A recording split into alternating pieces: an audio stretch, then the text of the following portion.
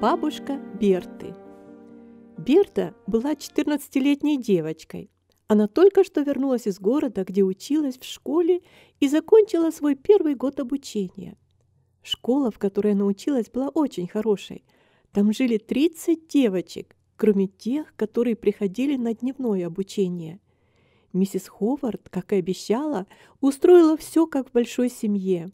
Каждой из них она уделяла особое внимание и заботу – Берта заметно подтянулась в учебе и поведении и стала уже вполне приятной девушкой. Так как никто из ребят или девочек не совершенный, да и взрослые тоже, поэтому я хочу рассказать вам, какую ошибку сделала Берта, а еще как она избавилась от чувства, которое вполне могло стать очень неприятной привычкой. Да что говорить, я встречала взрослых людей – кто относился к пожилым членам семьи с пренебрежением и даже с презрением. Берта была счастлива снова оказаться дома, снова прижаться к милой дорогой маме.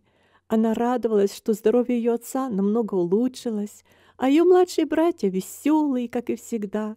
Она встретила свою милую старенькую бабушку, которой было почти 80 лет, но она все еще была энергичная и очень разумная. У нее было светлое, доброе лицо, серебристые волосы были покрыты тонким муслиновым чепчиком с гофрированной каймой, такой красивой, которую вы, возможно, никогда не видели. Я раньше думала, что бабушка выглядит как фотография летнего вечера, когда она надевала свежий чепчик и косынку. Так она называла белый треугольник из тонкой ткани, который накидывала себе на плечи. На ней всегда был чистый клетчатый фартук. Несмотря на свой возраст, она делала очень много работы по дому. Я не думаю, что Джордж и Вилли представляют, как бы они без нее жили.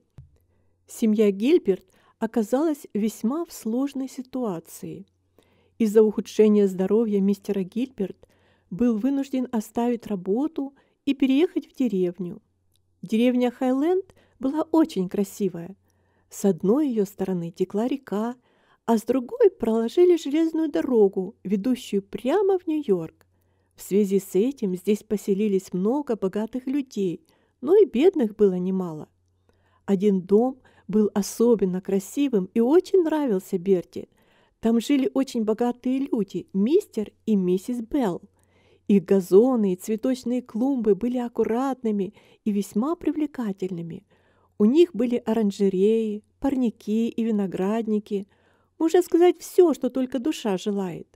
Миссис Белл путешествовала и объехала всю Европу и даже Китай. В школе Берта познакомилась с двумя племянницами миссис Белл. Одна из них была юной леди, а другая маленькая девочка, чуть младше Берты. Но Ада и Берта стали близкими подружками. На каникулах Девочки собирались приехать в гости к миссис Белл, и Ада обещала провести целый день с Бертой. Она даже сказала, что они будут часто встречаться. «Тетя Белл очень важная леди», — сказала Ада. «У нее нет детей. Я боюсь, что мне будет там скучно, поэтому ты должна будешь приходить ко мне». Мысль о посещении богатого дома взволновала Берту — она с радостью поделилась этой новостью со своей мамой. Но по нашим желаниям не всегда все получается. Зал в доме Гильберт ремонтировали, и с новым ковровым покрытием произошла задержка. Пока девочки приедут, все уже будет в порядке, подумала про себя Берта. Она взяла маленькую рабочую корзинку, пошла в гостиную и вытащила недоконченную косичку. Впереди дома тянулась длинная веранда. По центру был коридор, а зал и гостиная были по обе стороны от коридора. Бесцельно глядя в окно, Берта увидела красивых серых лошадей миссис Белл. В карете сидело много женщин. Вдруг лошади остановились, и кучер помог выйти двум леди и одной девочке. Затем открыл для них калитку. Девочки приехали в Хиллсайд на неделю раньше, чем ожидалось. Когда Ада рассказала о своей подружке, то миссис Белл предложила, чтобы они приехали пораньше, чтобы Ада и Берта могли больше проводить времени вместе. «О, мама!» — воскликнула пораженная Берта. «Они приехали! Ада, миссис Франсис и их тетя!» «Иди встреть их, дорогая моя!» — сказала мама, поднимаясь. Миссис Белл была очень любезна, и это сразу успокоило всех присутствующих. Они с миссис Гильберт обменялись очень приятными приветствиями. Все прошли в гостиную, и Берта слегка покраснела. Она, казалось, увидела всю убогость комнаты, потертое пятно на паласе возле стола, другое такое же возле дивана, старомодная мебель, и в углу сидела старенькая бабушка и вязала чулок из синих ниток. Бабушка встала и вежливо поклонилась гостям. Платье ее было простым, и из-под него были видны ее низкие туфли и белые вязаные носки. Она была аккуратная маленькая старушка, но очень старомодная. Миссис Белл подошла к ней. Когда видишь, как кто-то вяжет, вспоминаешь старые добрые времена, проговорила она тихим, приятным голосом, мне кажется, что в каждом доме должна быть бабушка. Она всегда придает дому комфорт и домашний уют. Я помню, как вязала моя прабабушка, когда я была еще маленькой девочкой. Теперь это не такое необходимое дело, ответила бабушка. Носки теперь дешевые, но мне кажется, что на мальчишках носки домашней вязки носятся дольше. Вилли и Джордж – протирают свои носки удивительно быстро. Да и для такой старушки, как я, есть чем заниматься. Ада многозначительно посмотрела вверх, и Берта покраснела. В школе их учили произносить все слова правильно и не позволяли пользоваться простыми выражениями. Однако миссис Белл продолжала разговор, а бабушка как могла развлекала ее. Но часто ее фразы были старыми и не совсем грамотными. Ада уже еле сдерживала смех. Наконец, она позвала Берту, чтобы пойти посмотреть цветы. «О, дорогая!» — воскликнула она, когда они прошли по дорожке на другую сторону дома. «О, милая! Какая твоя бабушка смешная! Я не могла стоять серьезно!» И Ада рассмеялась, считая все это очень смешным. Берта должна была понять, что смеяться над старушкой – это невоспитанность. Она должна была тут же защитить свою бабушку, но вместо этого ей стало стыдно за нее. Берти хотелось плакать. Если бы она могла проводить своих гостей в зал, где они не могли бы с ней встретиться. Такая смешная старуха в этом огромном клетчатом фартуке. Берта, она похожа на маленькую старую подушечку для иголок, которую я видела у нее такой странный рот, когда она разговаривает. У нее не осталось ни одного зуба, правда? И мне кажется, что им не преподавали грамматику, когда они ходили в школу. Почему ты разрешаешь ей носить этот белый чепчик? Все пожилые леди, которых я знаю, носят черные кружевные чепчики и ленточки. Я думаю, что я расхохочусь прямо там, когда она присела в этом реверансе.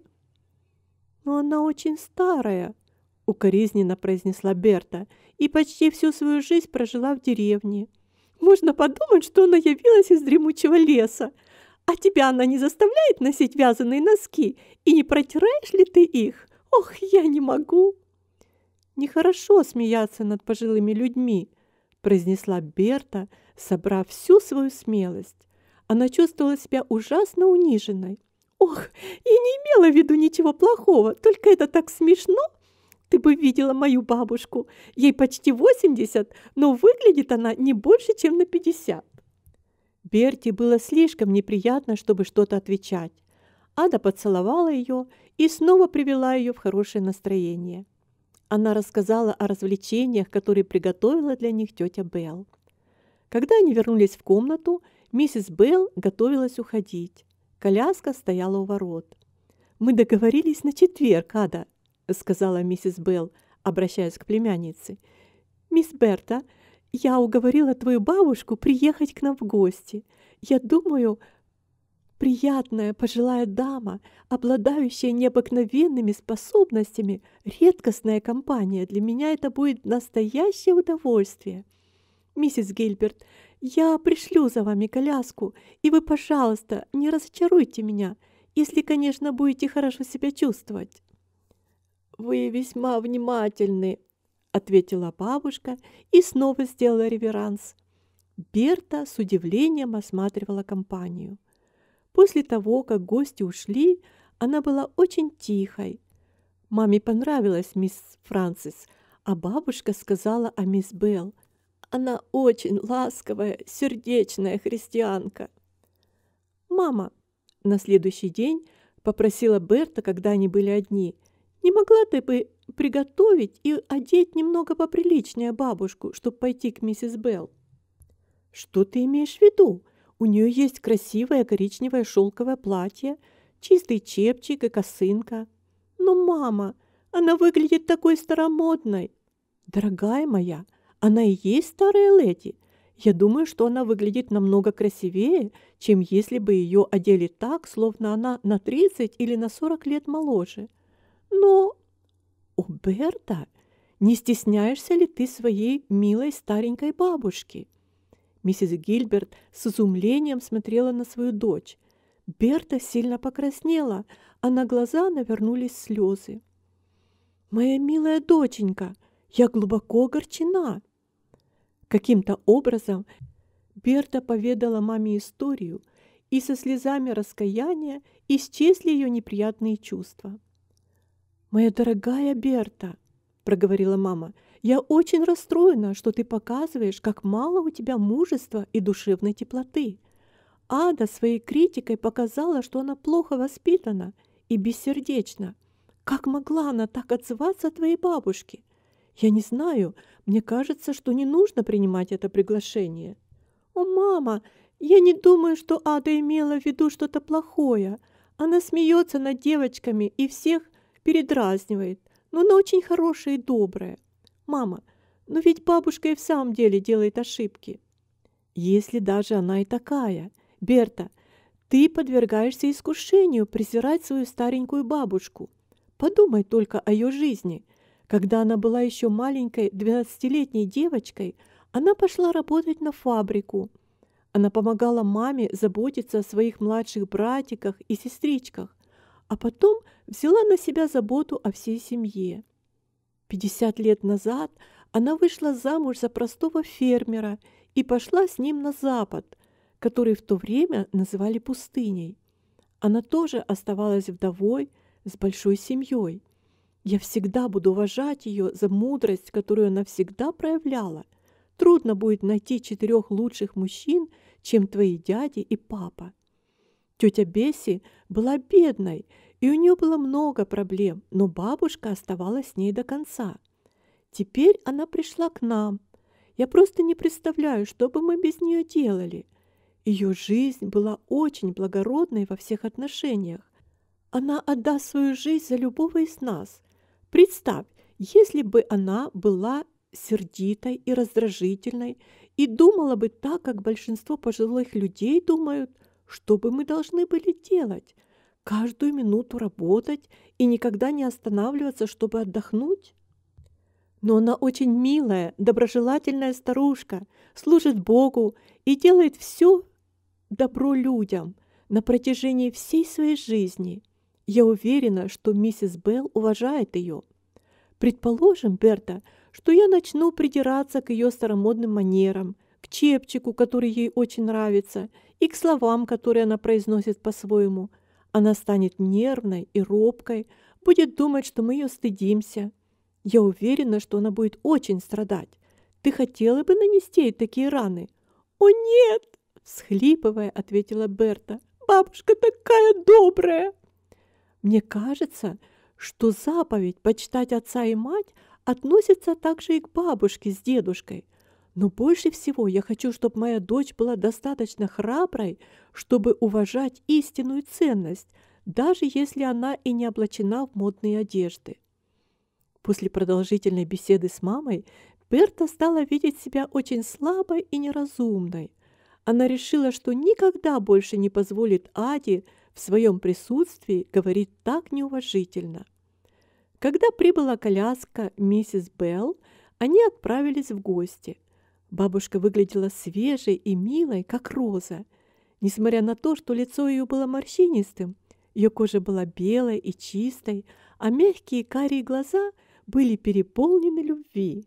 Миссис Белл ласково приветствовала всех, но тут же завладела бабушкой, предоставив молодежи развлекаться самим. Дом был очень красивым, полным диковинок, красивых картин, оригинальных статуй и элегантной мебели. После обеда неожиданно прибыли гости, и Берта увидела, что бабушка стала центром их внимания. Она услышала, как одна леди говорила, «Какая очаровательная старушка! Мне даже хочется позавидовать ее родственникам!» Что же касается Ады, она не делала никаких замечаний. Сестра ее была поражена ее легкомысленным поведением. Она пригрозила ей обо всем рассказать тете Белл, к которой она относилась благоговением. Посещением Берта была очень довольна. Ада и Берта стали с уважением относиться к старости, и люди часто замечали их красивые манеры. Когда они встречались с людьми менее воспитанными, чем они сами, или необразованными, то они не смеялись над ними. Девочки старались думать о их тяжелой жизни и преимуществах, какие они имели, и были с ними добрыми и нежными. Давайте стараться быть добрыми и к бедным, и к стареньким, потому что некоторые из них – божьи драгоценные жемчужинки.